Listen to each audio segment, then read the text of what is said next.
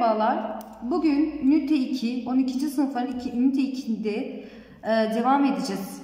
Ve ünite 2'de e, friendship temasından bahsedeceğiz. Dostluk, arkadaşlık demek. Hemen e, kitabımızın içinde functions, işlevleri bakalım neler varmış. Describing personal features, şahsi özellikleri tanımlama. E, personal, şahsi kişilik, features, özellikler demek. Describing de tanımlama demek. Making conclusions, sonuçlar alabilmek. Ve stating reasoning, delilleri anlatabilmek, sebepleri anlatabilmek. Bu şekilde conclusions, sonuçlar demek.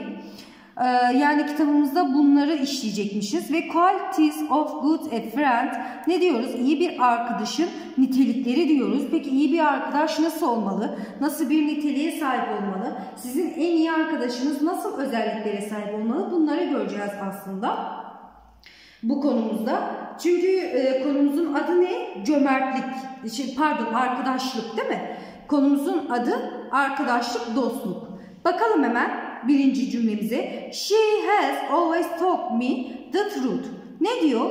O bana sürekli doğruları söyler. Doğruları bana söylediği için o nedir? Bana doğruları anlattığı için dürüsttür değil mi? Ya da he has always called me on my birthday. O doğum günlerinde sürekli ne yapar? Beni çağırır. He is thoughtful. O, o zaman nedir? Thoughtful, düşüncelidir değil mi? Arkadaşlık, dostluktan bahsediyoruz. Yani biz de mesela arkadaşımız, dostumuz olduğu zaman ne gibi özelliklerini isteriz aslında bize söylemek yani söylememek söylemek istediğimiz. Yani onun kendine şahsi yani benim arkadaşım şöyle olmalı, böyle iyi olmalı, şu şekilde davranmalı dediğimiz özellikte olan arkadaşlarımızı İngilizce işte telaffuz ederken aslında burada e, neyi gösteriyoruz? Sıfatları da göstermiş olabiliyoruz. Ne yapıyoruz? O düşünceli derken mesela nedir? İşte sıfattır. İşte güvenilir derken reliable ne yapıyorsun? Tekrardan sıfatı kullanıyorsun. Burada sıfatlara çok çok yer veriyoruz. Arkadaşlık konusunda ne yapacağız? Çünkü onu açıklayacağız, ona söyleyeceğiz. Neylerle bahsediyoruz burada? Sıfatlarla bahsediyoruz değil mi bir arkadaşımıza? Hemen diğer örneğimize geçelim. Bakalım ne diyor? Ondan bir bakalım. Mary takes time to listen. Mary takes time to listen to me. Mary beni dinlemek için zaman harcıyor diyor. Zaman harcadığı için o ne yapıyor? Mary is there to listen. Yani Mary dinlemek için var değil mi? Dördüncü örnek John never gives away our secrets. John sıra, sırlarımızı asla vermez diyor. Never asla gives away vermek our secrets sırlarımızı. O zaman he is reliable olmuyor mu? John is reliable güvenilir olmuyor mu? Oluyor.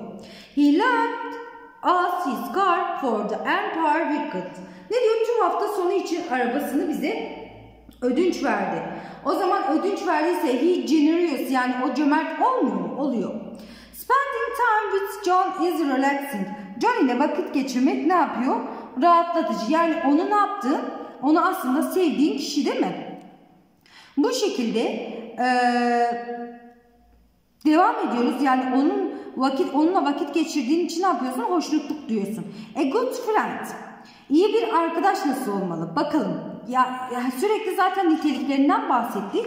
Şimdi ne yapıyoruz? Yani şunlar nitelikleriydi değil mi? Şimdi ne yapıyoruz? Biz burada sıfatlardan bahsedeceğiz. Is thoughtful. Yani iyi bir arkadaş. A good friend is thoughtful, düşünceli. A good friend is someone whose company you enjoy. Birlikteliğinden zevk aldığın birisi olmalı. A good friend is honest, dürüst olmalı. A good friend makes you smile. Sizi gülümsetmeli, gülümsetir. A good friend, uh, friend make, makes this easy for you her şeyi sizin için ne yapmalı? Kolaylaştırmalı değil mi? Kolaylaştırıyor olmalı. A good friend comforts you when you cry ağladığınızda sizi rahatlatması gerekiyor değil mi? Yanınızdaki olan iyi bir dostunuz, iyi bir arkadaşınız.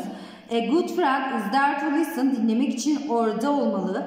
A good friend moralizes you. Ahlaki değerlerinizi yükseltmeli. A good friend is generous, cömert olmalı. A good friend is loyal, sadık olmalı. A good friend doesn't judge you, sizi yargılamıyor olmalı. A good friend is kind and respectful. İyi kalpli olmalı, iyi kibar olmalı, saygılı olmalı. A good friend is supportive. Destekleyen, sizi destekleyen olmalı değil mi? Şimdi bir de bu ünitemizin üniteleri var, şey kelimeleri var. Kelimelerine bakalım. Apathetic, duyarsız. Yani e, burada bu sefer e, şeyi de yazmış oluyoruz. Olumsuz hani arkadaşları da yazmış oluyoruz. Olumsuz sıfatlarla nitelediğimiz. Mesela apathetic duyarsız. He is very apathetic. O çok duyarsız diyoruz değil mi? Bu kötü bir arkadaş oluyor. Considerate, düşünceli, respectful, saygılı, prizing, övme, e, cooperative, yardımcı, distracted, kafası karışmış,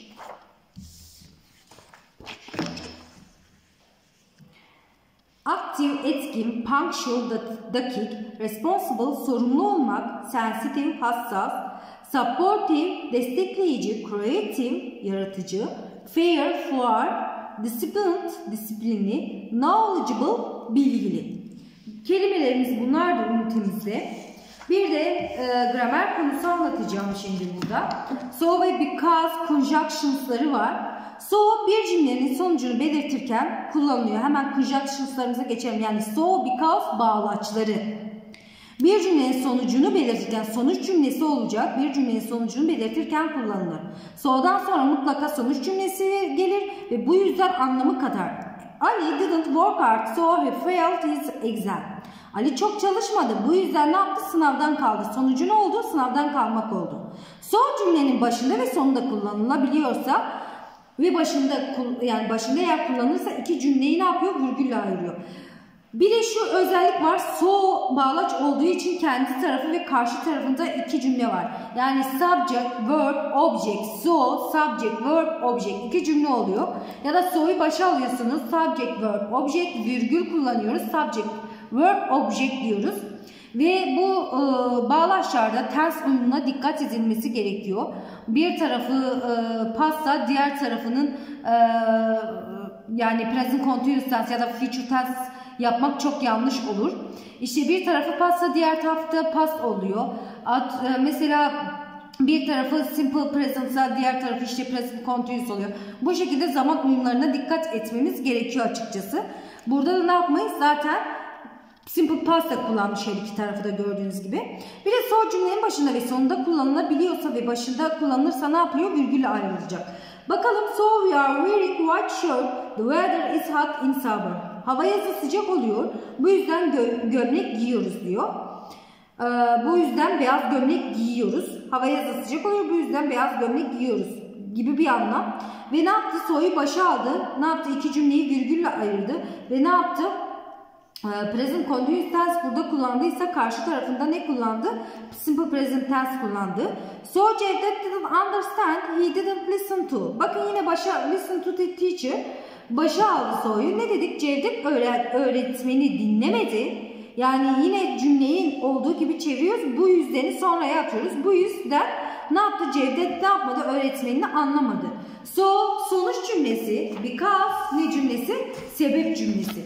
Peki because'la ilgili hangi soruyu soruyoruz? Why sorusunu yöneltiyoruz değil mi? Why. Niçin? Niçin şu şey oldu? Because. Çünkü bu yüzden böyle oldu gibi bir anlam. Peki because'a bakalım. Çünkü anlamındadır. Bir cümlenin sebebini belirtirken kullanılır. Bir olay veya durumun neyden kaynaklandığını belirtir. belirtir. Because'dan sonra mutlaka ne gelir? Sebep cümlesi yani sebep gelir. Yine zaman uyumuna dikkat edeceğiz. Bakalım hemen I am late for work because there was traffic. İşe geç kaldım çünkü ne oldu? Trafik vardı diyoruz değil mi? Because cümlenin başında da kullanılabilir. Böyle olduğu zaman önce sebebini söylüyorsunuz, virgülle ayrılıyorsunuz. Sonra ne yapıyorsunuz? Konulup sonucunu açıklıyorsunuz. Bu kullanımda çeviri olarak da ne oluyor? Olduğu için anlamı veriyor. Diğerinde hiçbir anlam değişikliği yoktu ama because'u başa aldığımız zaman yani ortada değil, ortada kullanırken çünkü başa aldığımız zaman ne oluyor? Olduğu için anlamı verecek. Because it was very cold, I wore my coat. Hava soğuk olduğu için mantomu ne yaptım? Giydim. Because I didn't study for the exam, I passed. Ne yaptı? Zaman uyumuna dikkat etti. Pas pas kullandı. Sınava çalışmadığım için kaldı. Because'ı başa aldığım için, dığı için oluyor. Olduğu için. Bu şekilde biz ikinci ünitemizi bitirmiş olduk. Üçüncü ünitede görüşmek üzere. Herkese iyi günler diliyorum.